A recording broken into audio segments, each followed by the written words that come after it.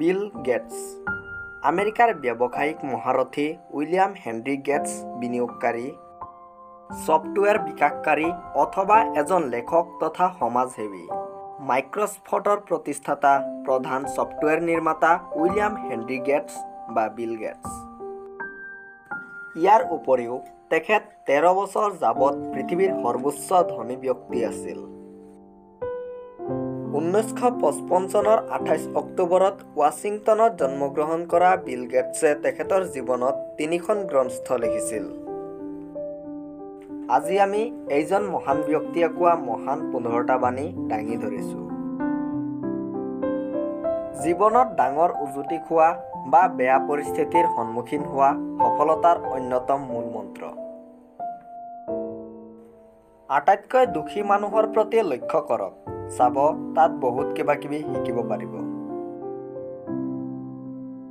মই কোনো এটি কঠিন কৰ্ম কৰাৰ বাবে সদায় এজন এলেহুৱা ব্যক্তিক পচন্দ কৰিম কাৰণ তেখেতে সেই কৰ্ম কৰাৰ বাবে কোনো এটি সহজ উপায় উলিয়াব। এবাৰ মই কেইটামান বিষয়ত ফেইল কৰিছিলোঁ কিন্তু মোৰ বন্ধুসকলে পাছ কৰিছিল। এতিয়া তেওঁলোক মাইক্ৰছফটৰ ইঞ্জিনিয়াৰ আৰু মই মাইক্ৰছফটৰ প্ৰতিষ্ঠাতা। মই এইটো বিশ্বাস কৰোঁ যে আপুনি যদি মানুহৰ সমস্যা দেখুৱায় আৰু তাৰ সমাধানো দেখুৱায় তেন্তে সেই মানুহজন স্থানান্তৰ হ'ব।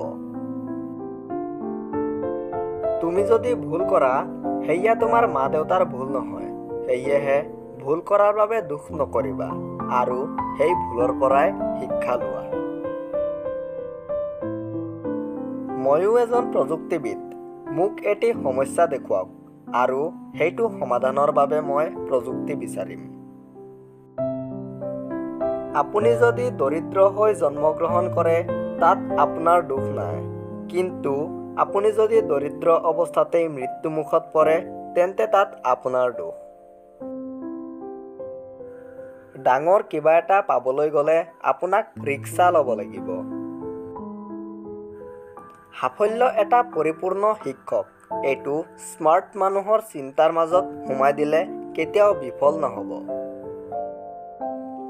পৃথিৱী পৰিৱৰ্তন কৰিব বিচাৰিলে বিয়াৰ আগতেই কৰা। বিয়াৰ পিছত পৃথিৱী পৰিৱৰ্তন কৰাটো দূৰৰ কথা। টিভিৰ চেনেলেই সলাব নোৱাৰিবা।